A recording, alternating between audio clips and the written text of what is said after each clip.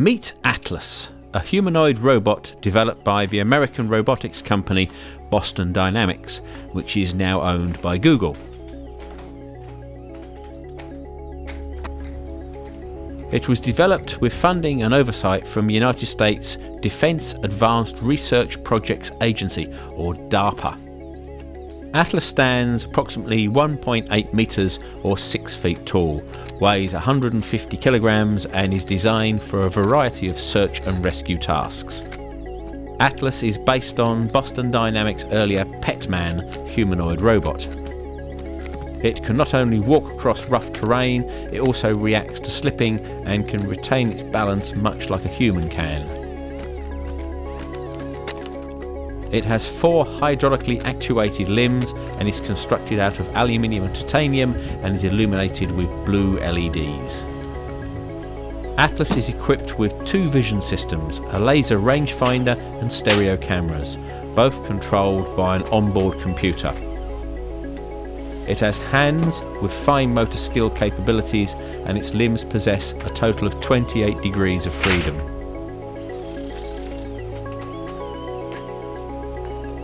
It can do advanced tasks like finding and picking up objects, and if they are dropped, it will try again and again until it completes the actual task.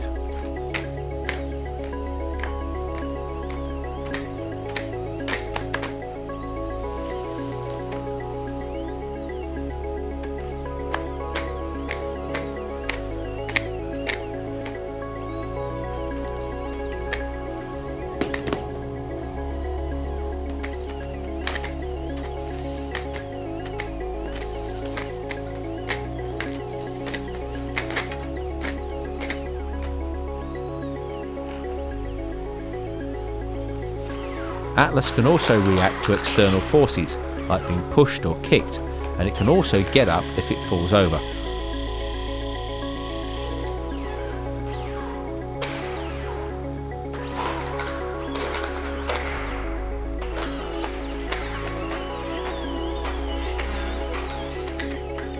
Atlas can also do things like finding and opening doors, climbing ladders, clearing debris, locating valves, all the sort of tasks which a human rescue worker would need to be able to do. The Cheetah robot, built by MIT, is the first four-legged robot to not only be able to autonomously jump over obstacles in its way, but also run up to 28 miles an hour, which is slightly faster than Usain Bolt. Using its onboard LiDAR visual system, which uses lasers to map out the terrain in front of a robot, it can see where it's going and where the obstacles are in its way. The team at MIT developed a three-part algorithm to plan out the robot's path based on the LiDAR data. Both the vision and the path planning system are on board the robot, giving it complete autonomous control. This works out the height of the objects and also the distance from itself and also the speed at which the robot is travelling. Then it works out the best place to jump and clear the object. In experiments on a treadmill and also an indoor track, the Cheetah robot successfully cleared obstacles up to 18 inches tall, more than half of the actual robot's own height, whilst maintaining an average running speed of approximately 5 miles an hour. Testing the robot in an open area actually worked better than on the treadmill because it had more time to react, with it clearing 90% of the obstacles compared to only 70% on the more limited area of the treadmill. Spot is the latest electrically powered and hydraulically actuated four-legged robot to come from Boston Dynamics.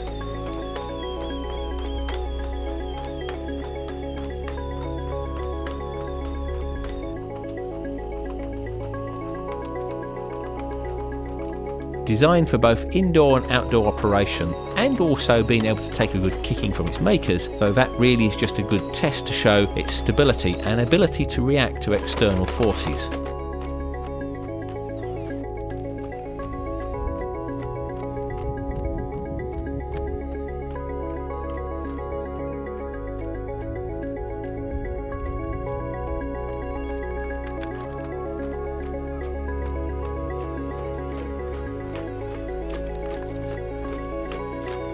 It can negotiate rough ground, climb hills and even stairs, and also can hop about like a real animal, but it is still remotely controlled at the moment and not a truly autonomous robot like its big brother the Atlas.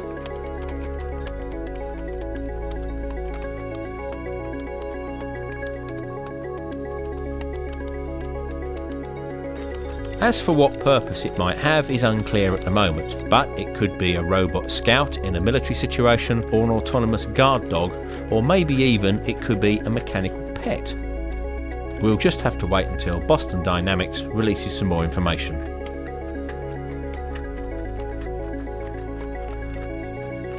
It uses a form of scanning LiDAR for its navigation, and its backwards facing legs, like that of a goat, give it also a great deal of agility.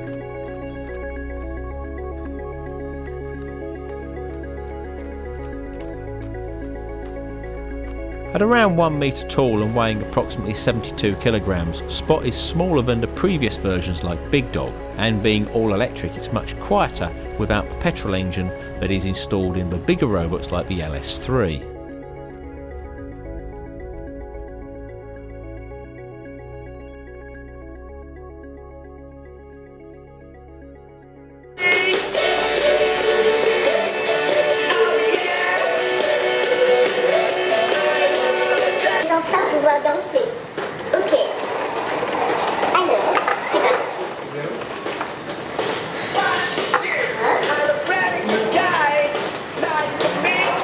Pepper is an interactive social robot which will um, interact with all members of the family, propose um, games so that people get together more, or um, take a picture of your kid while you're not at home. I'm ready. Say cheese! Come with me. No, sorry. My parents always told me never to follow strangers. Been um, developed with SoftBank. Uh, SoftBank wanted a robot for two purposes. One, which is already in place live in Japan, is uh, Pepper is um, an extra staff to welcome customers at SoftBank mobile shops all across Japan. On three, we each take a deep breath, and then we see who can hold it the longest. One, two, three, go! Hmm.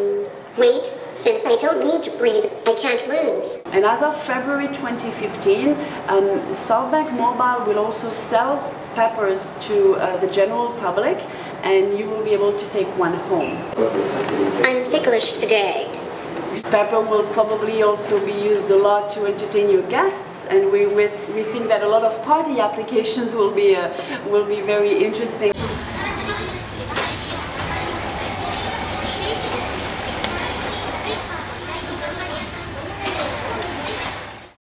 Probably the most well-known robot is the Japanese Honda Asimo, and while it now may act very realistically, it's been a long time in the making. In 1986, Honda undertook the challenge that seemed straight out of science fiction at the time to build a humanoid robot that might one day help people move with them and improve their lives.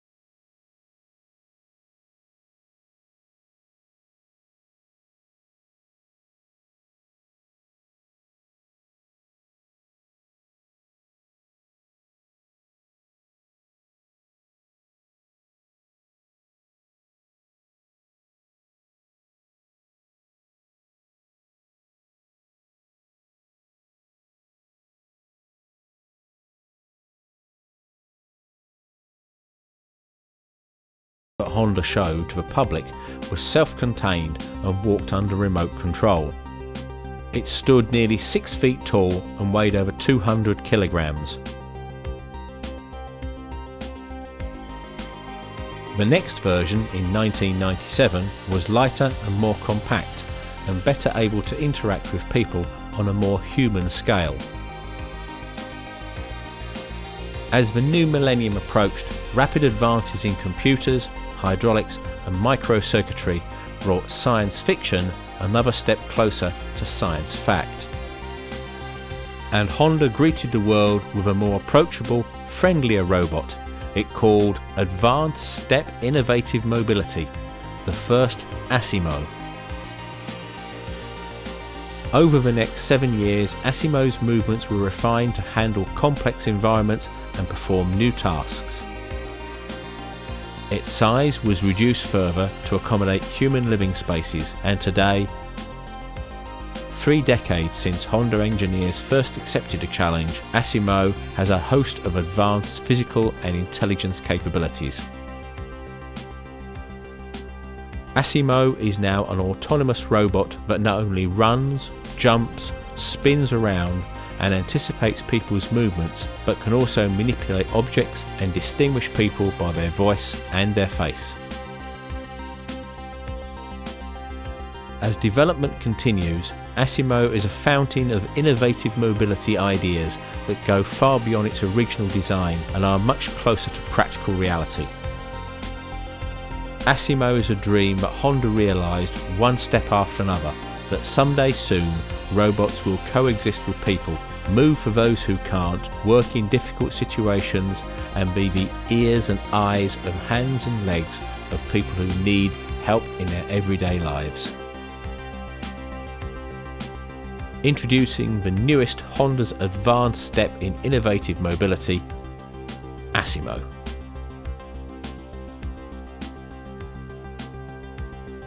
Thanks for watching and I hope you enjoyed the video. If you did, then don't forget to please thumbs up and subscribe for more. And if you have any ideas for videos you'd like to see, then please let us know in the comments below.